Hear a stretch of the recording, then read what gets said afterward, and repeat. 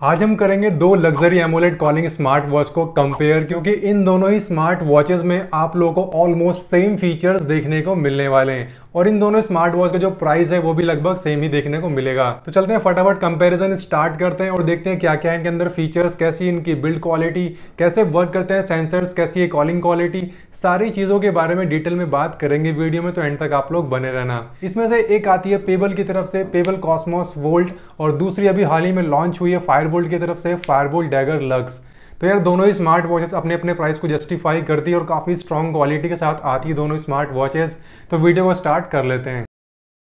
लेकिन उससे पहले मैं आप लोगों से रिक्वेस्ट करना चाहूँगा, अभी तक आप लोगों ने चैनल को सब्सक्राइब नहीं किया तो फटाफट सब्सक्राइब कर लो और ये वीडियो पसंद आए तो वीडियो को लाइक ज़रूर कर देना।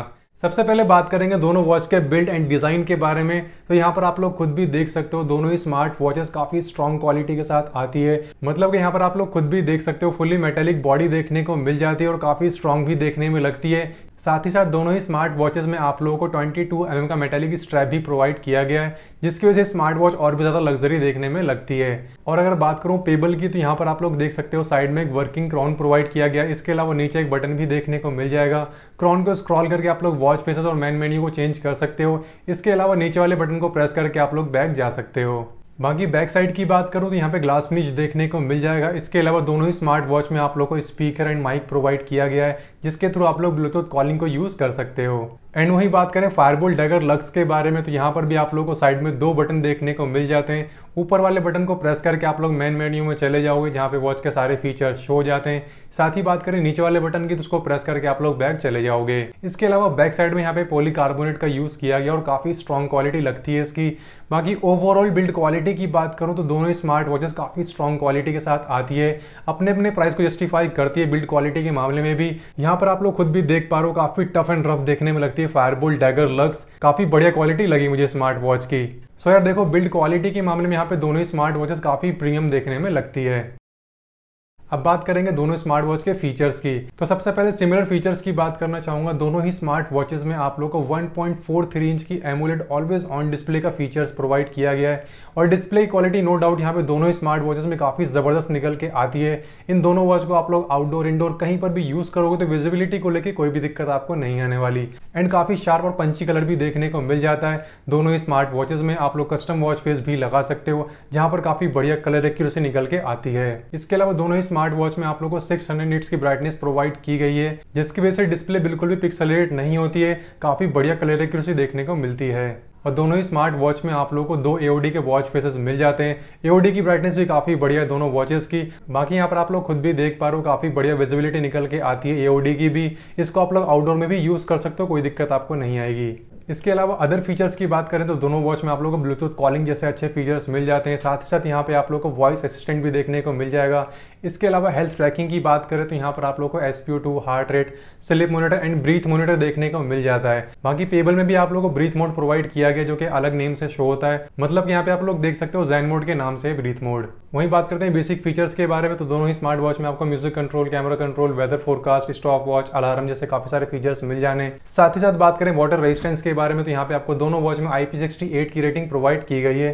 तो आप लोग नॉर्मल बारिश में दोनों वॉच को पहन के निकल सकते हो, कोई भी दिक्कत आपको नहीं आने वाली। बैटरी बैकअप की बात करें तो दोनों ही स्मार्ट वॉच में आप लोग को सेवन डेज़ कंपनी क्लेम कर रही है। बट इन दोनों स्मार्ट वॉच को आप लोग नॉर्मली चार से पाँच दिन यूज़ कर सकते हो। अगर आप लोग एओडी प्लस कॉलिंग का फीचर्स यूज़ करते हो तो यहाँ पर आपको सिर्फ़ और सिर्फ़ एक से दो दिन का ही बैटरी बैकअप देखने को मिलने वाला है। और इन दोनों ही स्मार्ट वॉचेस में आप लोगों को फीमेल हेल्थ केयर का भी सपोर्ट देखने को मिल जाता है, जो कि फीमेल्स के लिए काफ़ी ज़्यादा यूजफुल होता है। और इसी के साथ साथ दोनों वॉच में आप लोगों को स्पोर्ट्स रिकॉर्ड का भी ऑप्शन प्रोवाइड किया गया है तो आप लोग जो भी स्पोर्ट्स एक्टिविटी करते हो, उसको बाद में जाके चेकआउट भी कर सकते हो। अब बात करते हैं डिफरेंट फीचर्स की, जो कि बहुत ज़्यादा नहीं है। जैसे मैंने आप लोगों को पहले बताया था, दोनों ही स्मार्ट वॉचेस में लगभग सिमिलर फीचर्स देखने को मिलते हैं। डिफरेंट फीचर्स में सबसे पहले पेबल की बात करना चाहूँगा। इसी स्मार्ट वॉच में आप लोगों को एट स्पोर्ट्स मोड देखने को मिल जाते हैं। इसके अलावा यहाँ पे आप लोग को वर्किंग क्रॉन प्रोवाइड किया गया है। वहीं बात करूँ फायरबोल डैगर के बारे में तो यहाँ पर आप लोगों को 20 प्लस स्पोर्ट्स मोड मिल जाते हैं। इसी के साथ साथ यहाँ पर आप लोगों को काफ़ी ज़्यादा यूजफुल फीचर्स भी प्रोवाइड किया गया, जो कि है कैलकुलेटर का। तो आप लोग डेली लाइफ में इसको भी यूज़ कर सकते हो। तो यही थे इसके कुछ डिफरेंट फीचर्स अब बात करेंगे दोनों स्मार्ट वॉच के यूआई परफॉर्मेंस के बारे में. तो दोनों स्मार्ट वॉच को अच्छे खासा टाइम से मैं यूज़ कर रहा हूँ और आप लोग यहाँ पे खुद भी देख पा रहे हो. दोनों ही वॉच की जो यूआई है लगभग सेम परफॉर्म करती है यहाँ पे और आप लोग यहाँ पे खुद भी देख सकते हो. सेम टू सेम यूआई देखने को मिलती है दोनों स्मार्ट वॉचेज में. कुछ भी चेंजेस देखने को नहीं मिलता है और काफ़ी स्मूथली वर्क भी करती है. लैग या फिर हैंग जैसा इशू फेस करने को मुझे नहीं मिला दोनों में से किसी भी स्मार्ट वॉच में. सो so, यू के मामले में दोनों ही स्मार्ट वॉचेस लगभग सेम परफॉर्म करती है. अब चलते हैं फटाफट एक्यूरेसी भी टेस्ट कर लेते हैं और देखते हैं दोनों में से कौन सी स्मार्ट वॉच ज़्यादा एक्यूरेट डेटा प्रोवाइड करती है हमें। सबसे पहले यहाँ पे मैंने दोनों स्मार्ट वॉच को पहन के अपना हार्ट रेट टेस्ट किया है और आप लोग यहाँ पे खुद भी देख सकते हो। अभी तक सिमिलर डेटा देखने को मिलता है दोनों ही स्मार्ट वॉचेस में बट एट दी एंड यहाँ पे डाइगर लग ज़्यादा बढ़िया परफॉर्म करती है। वहीं बात करते हैं एस की तो यहाँ पे दोनों स्मार्ट वॉचेस काफ़ी अच्छी तरीके से वर्क करती है और लगभग सिमिलर डेटा ही देखने को मिलता है दोनों स्मार्ट वॉचेस में। एट दी एंड भी यहाँ पे आप लोग देख सकते हो सेम टू सेम रीडिंग देखने को मिलता है दोनों स्मार्ट वॉचेस में।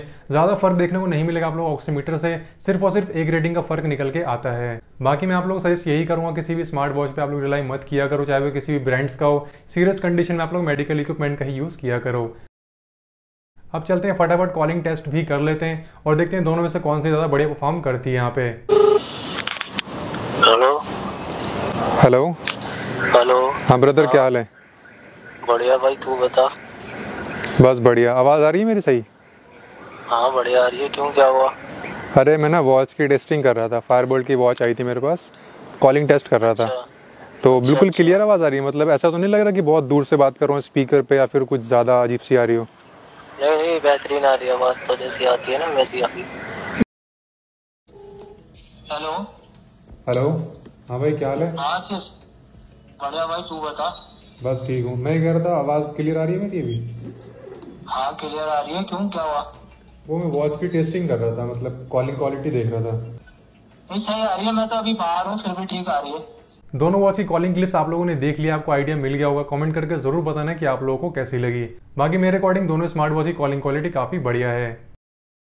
अब आते हैं फाइनली कंक्लूजन पे और बात करते हैं आप लोगों को इन दोनों में से कौन सी स्मार्ट वॉच लेनी चाहिए, कौन सी ज़्यादा वैल्यू फॉर मनी है। तो यार देखो, आप लोग यहाँ पे खुद भी डिसाइड कर सकते हो। मैंने जैसे आप लोगों को बताया था, दोनों ही स्मार्ट वॉचेस में आप लोगों को same to same build quality देखने को मिलती है और काफ़ी ज़्यादा प्रीमियम भी लगती है दोनों ही स्मार्ट वॉचेज बट यहाँ पर मुझे फायरबोल्ट डैगर लग्स थोड़ी ज़्यादा स्ट्रॉन्ग लगी बिल्ड क्वालिटी के मामले में। बाकी दोनों स्मार्ट वॉच के जो फीचर्स हैं लगभग सेम ही देखने को मिलते हैं। इसके अलावा यहाँ पे आप लोगों को कुछ एक्स्ट्रा फीचर्स मिलते हैं फायरबोल्ट डैगर लग्स में, जो कि है कैलकुलेटर का, और इसके अलावा ट्वेंटी स्पोर्ट्स मोड मिल जाते हैं।